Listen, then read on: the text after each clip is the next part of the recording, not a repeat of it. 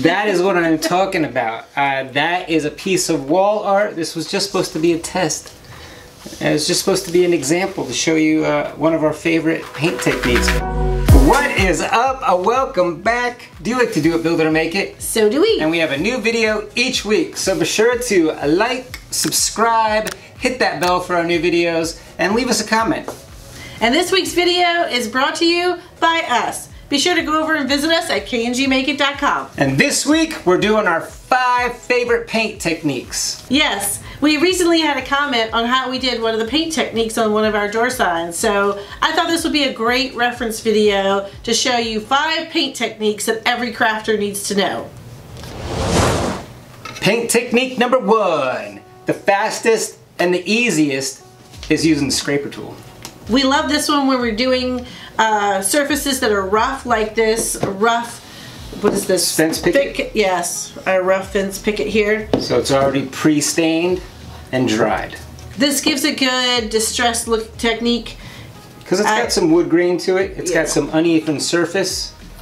And all you have to do for this one is Hold on there, Speedy. No other cameras are on.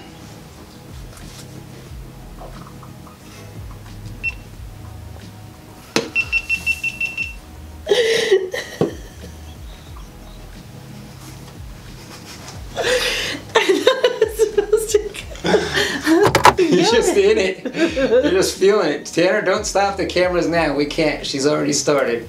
I'm just gonna start recording now. All right, Speedy McGee already started. Cameras are on We now. can do it again. We I'll should be show. good. I'll just All right, show. They fake won't it. even be looking Go down. ahead, give it a good fake, Kim. Give me a fake, good fake pour. All right, go ahead. All right. Was it convincing? This is super easy. It, nothing too hard. Okay, cameras are rolling. You're good now. Okay. so we're just gonna use this is a what is this an eight inch, six inch, Six inch. a say six, inch little metal scraper here. Well, unless you're a guy, then yes, that's an eight inch. Oh, Garrett. So here I'm just going to apply my paint directly to the surface and we're just going to pull. We'll lay it right before it and pull and it's going to spread. And that's okay, you can kind of come back, what's on your um, scraper there, you can come back and continue to spread that out.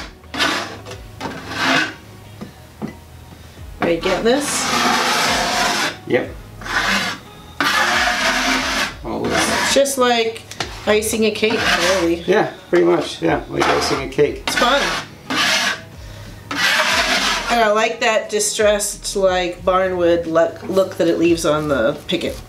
I do too. I, I like that uh, if the harder you push, the less you leave. So I tend to go really rough with it. Yeah. You want to give it a try? Give your own scrape. I'll get my scraping on. Oh wow. Oh wow, look at that. Yeah.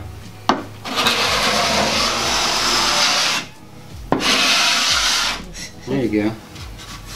See? Minutes. Super easy. If you followed our channel for a while, you've seen us use this on porch leaners. We've done a couple of spring leaners where I wanted to keep it white but keep that distressed look. So we've used this technique on the leaners. We also used this technique when we did our craft booth setup for Christmas. We actually did this oh, on that's right, yeah. lots of shiplap pieces to kind of outline and give that rustic look to our craft show booth setup when we did it at Christmas time. My favorite place that we used it though is in our front room, our workshop area on that oh, farmhouse wall. Yeah, that's- I'll leave a link to that video. That was a huge right video, here. That yeah. was a great one. I liked. I love that look. So the second example of our scraping technique, we did it on the fence picket. Now we're going to do it on a smooth surface. So this has been painted, just a black board painted with same exterior house paint. And now we're going to add a little of the white paint. I say just a little line at the top Yep. and scrape it down. Just a piece of MDF. Nothing up this sleeve. Nothing up this sleeve. Action. Woo, that's a lot. I did. I went in a little deep. A little deep. It's okay. That's why they make paper towels. Gonna catch it at the end.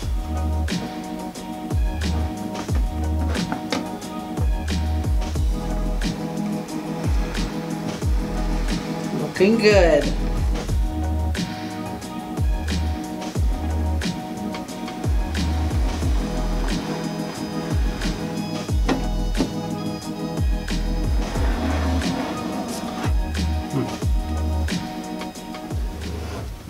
Messing it up.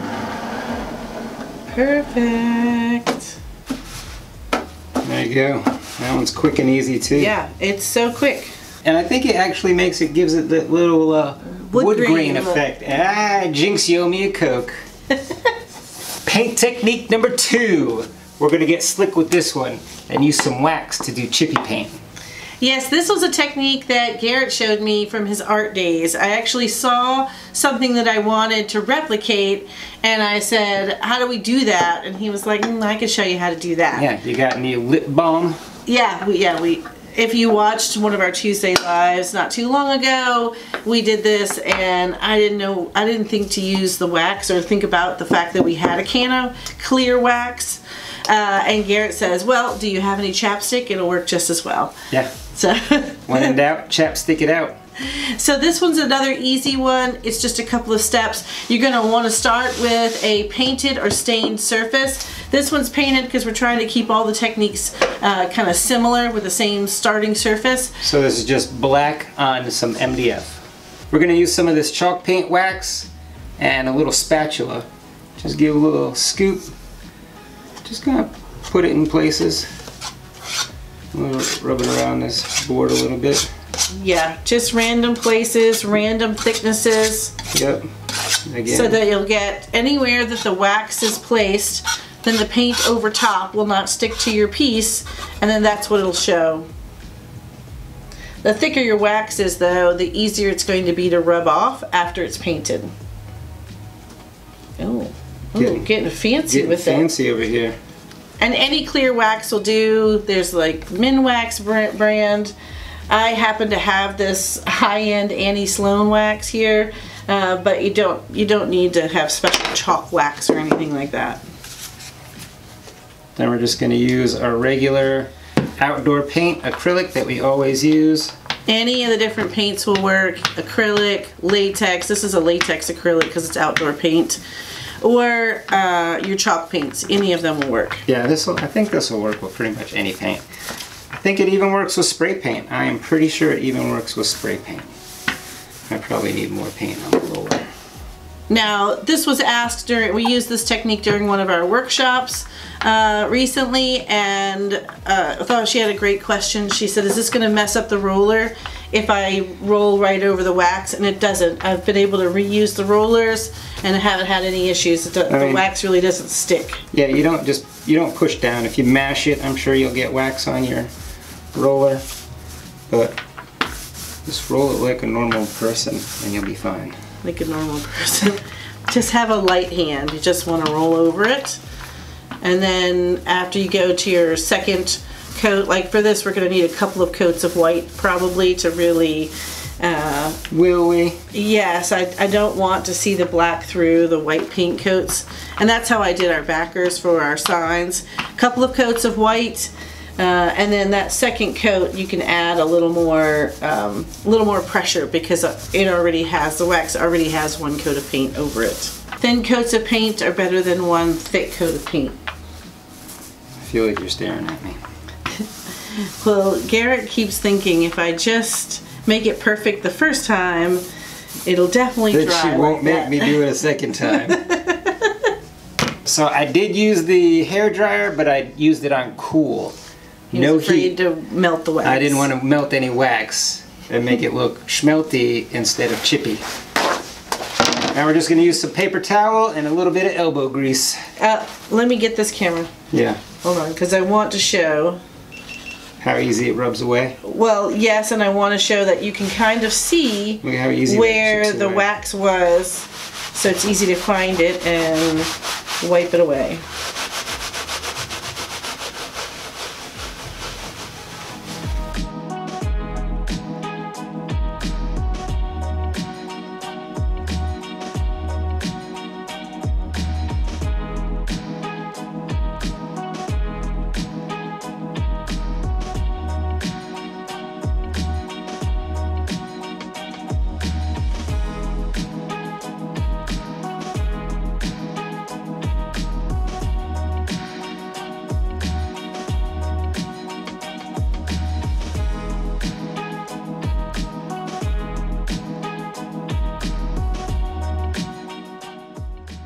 Chip, the chippy paint.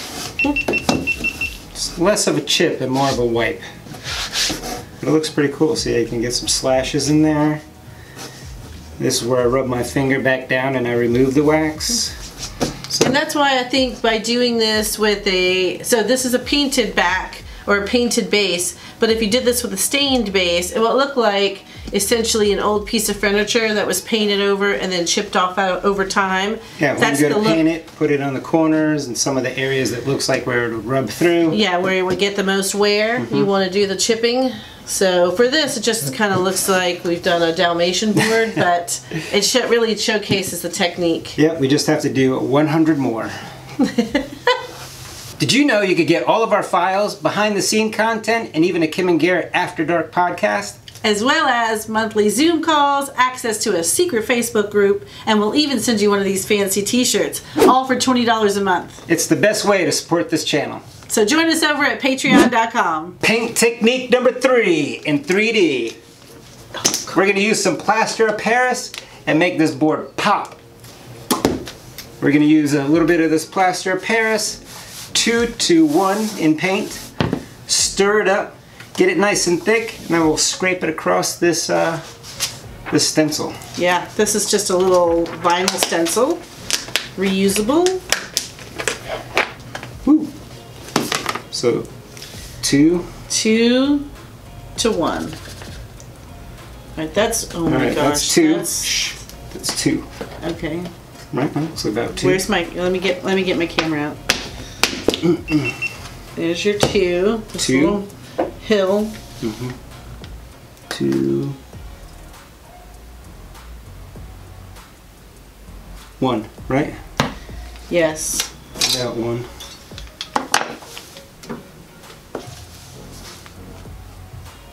It's very light and fluffy.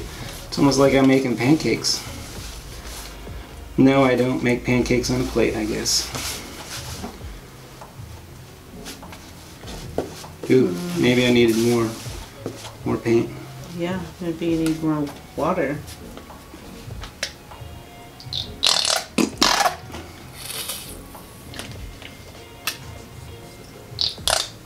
There you go. That's a good one.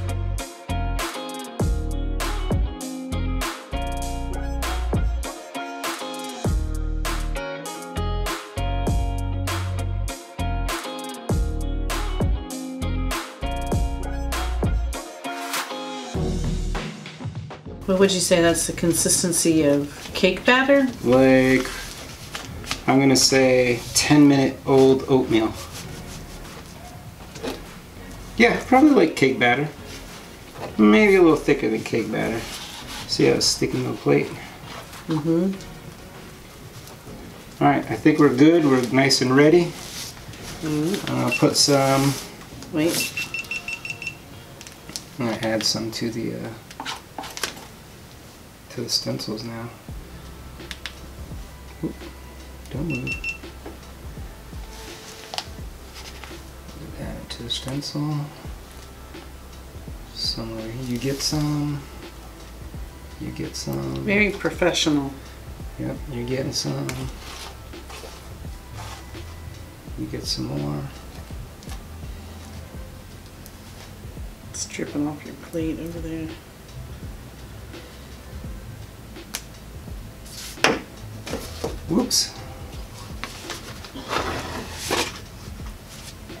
Alright, now I'm going to scrape it. Leave it in the holes. Yeah, you want this no more than like an eight eighth inch thick. No, not scrapey. We want to leave a little texture. So you want it about an eighth of an inch. Yeah. You don't want to actually see the design.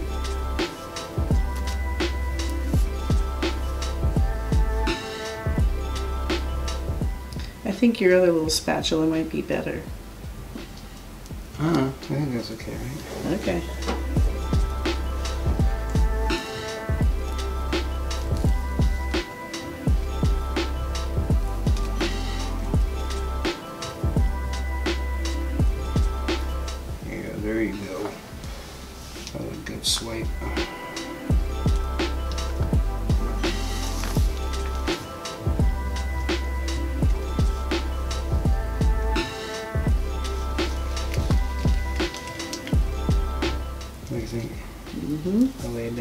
Nice and good, nice and even. Mm-hmm.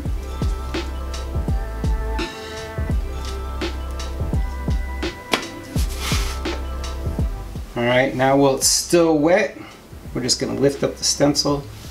Try to pick it straight up, don't get slidey. Bam. Mm, she's thick. Yeah, she is. Bam, look at that. Very cool, very cool. That's only part one. All right, now we're gonna let this dry for about 20 minutes. 20 minutes later. Now that it's all dried and textured, it's looking pretty cool. It already looks cool. Like, I think the shadows and stuff that it creates, you could probably leave it here. Or we're gonna come in with a little bit of makeup sponge, a very dry makeup sponge, and just try to catch the raised edges. Off.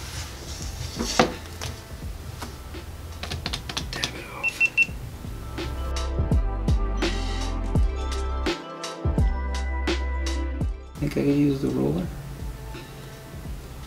So you can also mix this the traditional way, which is two parts uh, plaster of Paris, two parts powder, and one part water. And the other way is you can, once it dries, come back with a wet sponge and even out the depth of the texture. So we've left ours with multiple depths um, just to give it a different look, but you can kind of knock that down with a little wet sponge and give it another like flat, more more flat design look.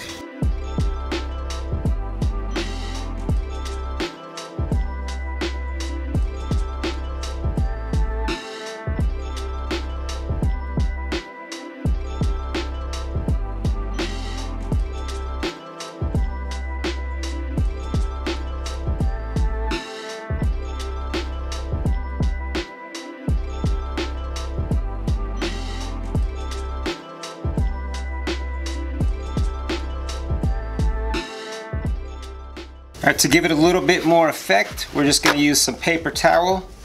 We're gonna crumple it up, try to make a flat crumply area up at the, up at the front. Just get a nice uneven surface at the, the front of my paper towel, whatever the front is. We're gonna dip it in the paint. We're gonna dab it off until it's pretty dry. Once it's dry and gives me a nice uneven little dab, I'm then gonna take it to the black and try to dab it all over the place. Make it look a little vintage.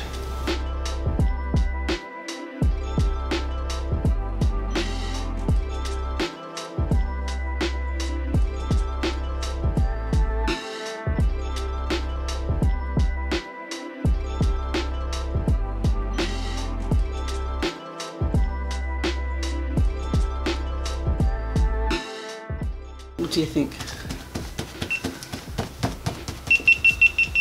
What do I think? I think, wow, I think that is what I'm talking about. Uh, that is a piece of wall art. This was just supposed to be a test. It was just supposed to be an example to show you uh, one of our favorite paint techniques, but uh, I think we just pulled off a piece of wall art. What do you think? Right? Pretty cool.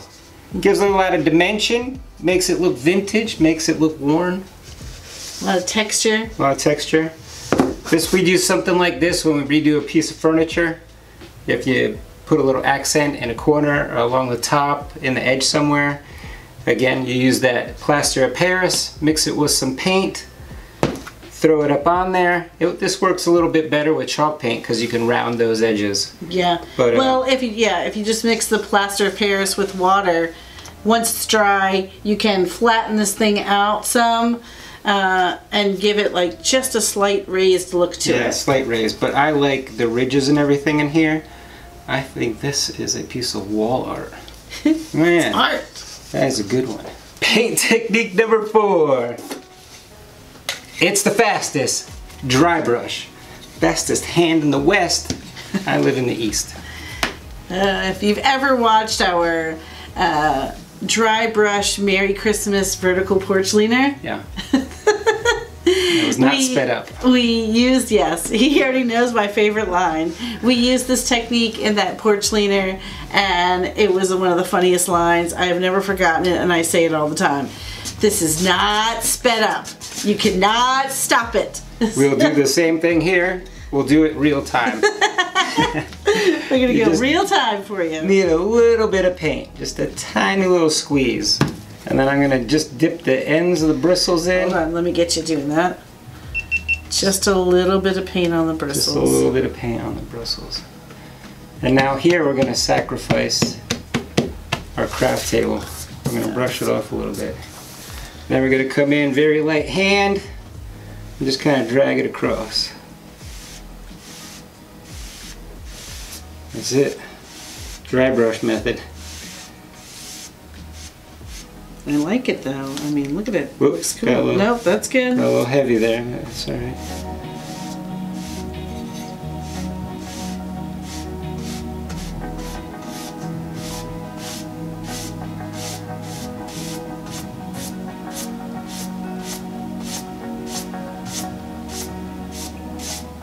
Now here's where it starts to get fast. The less paint you have on your brush, the faster you get. That's how it.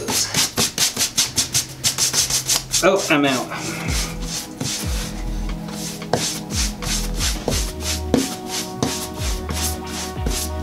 Alright, we think? Need some more? Yes. From this view, this is like a dark section.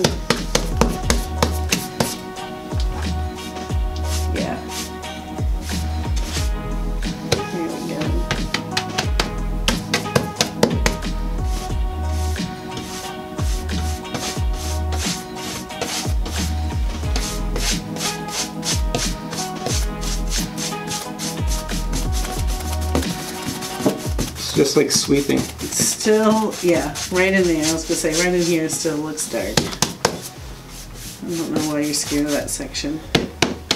I gotta stay away from the middle.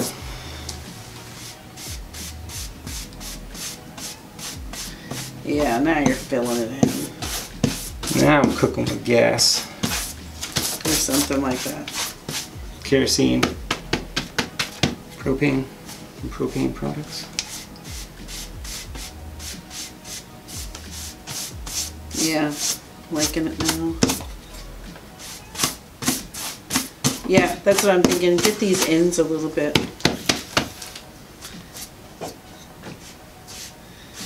Yeah.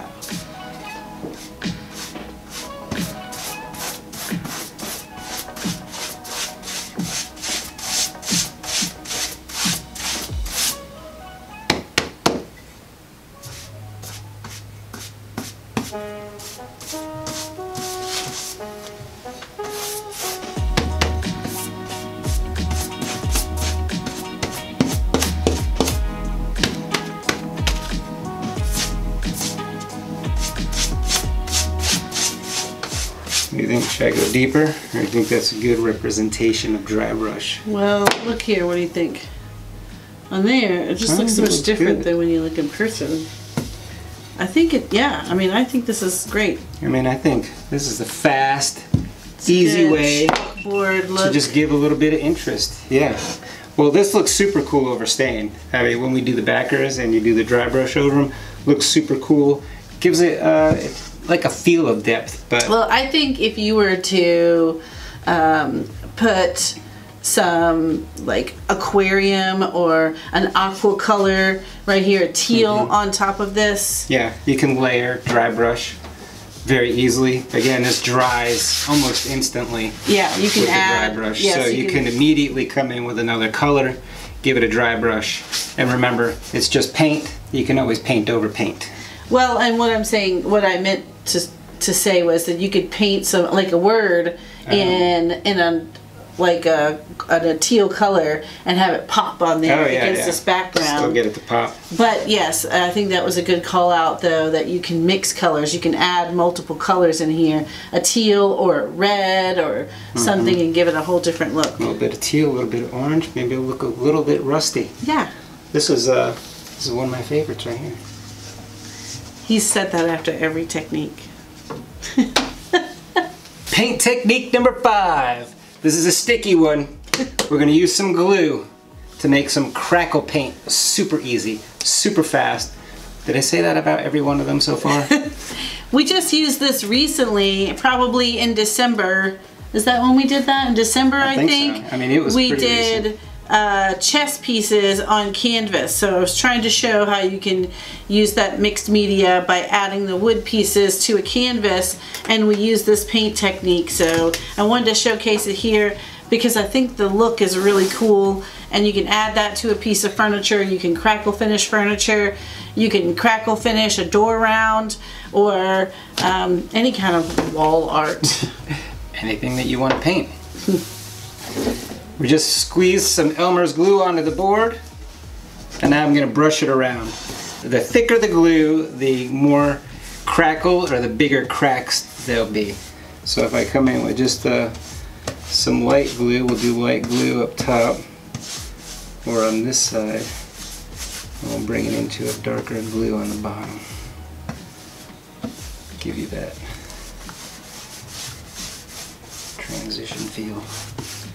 Some down here. Cross hatch it.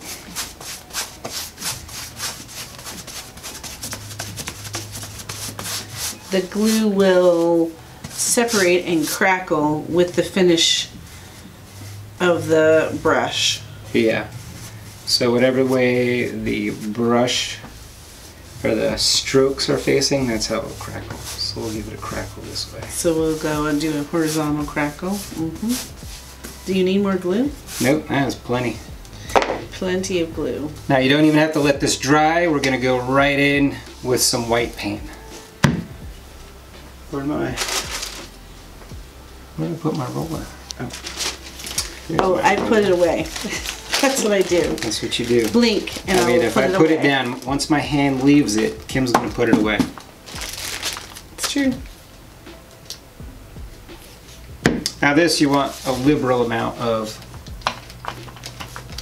paint on your roller. You don't want it to get in the glue. You want it to ride on top of the glue.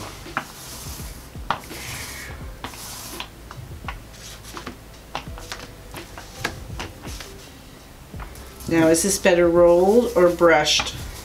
Uh, I like to roll it better. I believe it's easier to keep it on top of the glue and not get the glue all up in my paintbrush with the paint.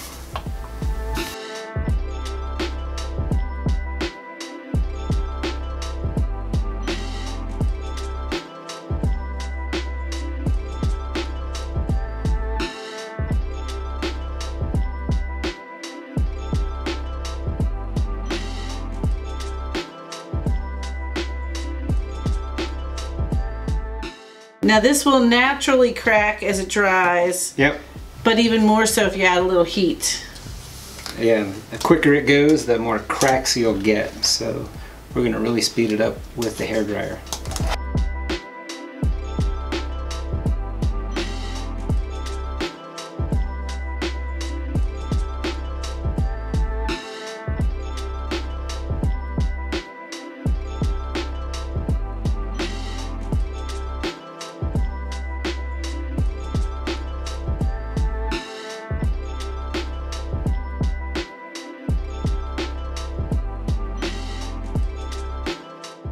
All right, this one right here, this one right here is my favorite one. I think it's the fastest and it's the most artistic with the speed. I think it's pretty cool. I mean, you could use this on anything. Right, Piece of furniture, Yep. Door rounds. door rounds. furniture, wall. You can use it on even canvas because that's what we used it on was canvas, and it worked beautifully on the canvas. I think this would look really cool as a door. Like for a door, put like a, a poppy color behind there, like a red, and then like another, I guess white over top of it and do it. I think that would make like a cool front door. yeah, this Yeah. this looks good with very contrasting colors. Front, the base coat and the top coat. Um, a really cool red as a base coat, and then the yellow crackle on top of Uh, it yeah. Looks really cool together. I think any contrasting colors would look very cool in this kind of method. Again, we did black and white because at the end I want to show you all of them together really up close how cool they all are. Yeah. I think this one's my favorite for real. Leave us a comment down below about what your favorite paint technique is. And we're about out of time. So if you're not going to join us for our Patreon after show or this week's Test Cut Tuesday, we will see you next Friday where we'll do it, build it, and make it again. How many do you think I can balance at one time? Think I could do two at a time? Like together or one in each hand? Ooh, they're different size boards. Ooh, this is gonna be tricky. Ooh, yeah, that's too tricky.